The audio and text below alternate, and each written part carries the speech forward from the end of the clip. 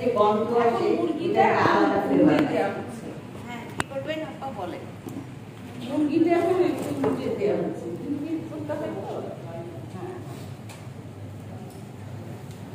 ওর ভিতর থেকে না দমে থাকলে ভিতর থেকে দেখবেন অনেক পানি বের হয়। ওই পানিতে মুরগিটা ভাজাও হয়ে যায় আবার একদম সফট হয়ে যায়। সুন্দর হয়ে দেখছেন? এটা কি অদ্ভুত একটা সুন্দর ফ্লেভার আসে।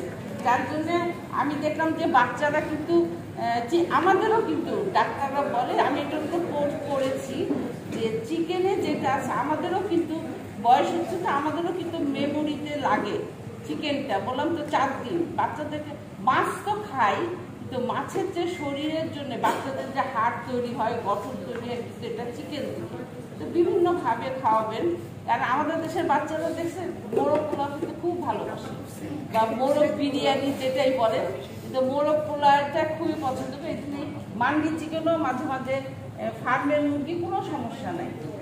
টাটকাটা নিয়ে এসে এটা টাটকা নিয়ে এসে খেয়ে দেখবেন অনেক। করছেন? হ্যাঁ, না। করেন করেন করেন আর লবণটা আপনারা নিজেদের মতো দেখে নিন। সবসময় লবণ না এটা হলো আহ, আফ- আফগানি এটা মেক্সিকান এটা আফগানি রেস্টুরেন্ট অ্যারাবের ওই সাইডের যে কান্ট্রিগুলো ওরা এই মান্ডি চিকেনটা পছন্দ করে কিন্তু আমাদের দেশে কেমন এটা আসে না।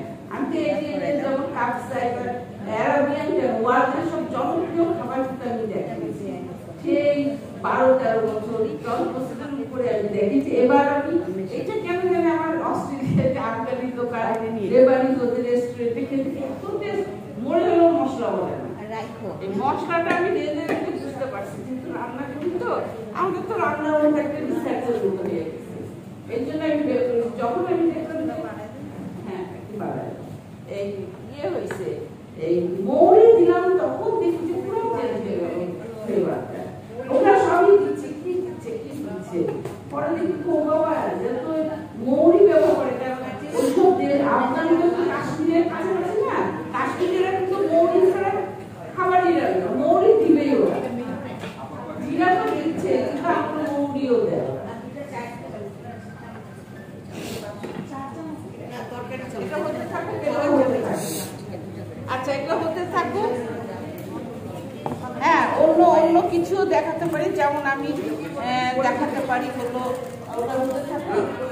আমাদের ম্যাজিক সালাদ ম্যাজিক সালাদ কিছুই না সালাদটা দেখাবো ম্যাজিকের যেমন আহ, মজা করে ওই রকম না।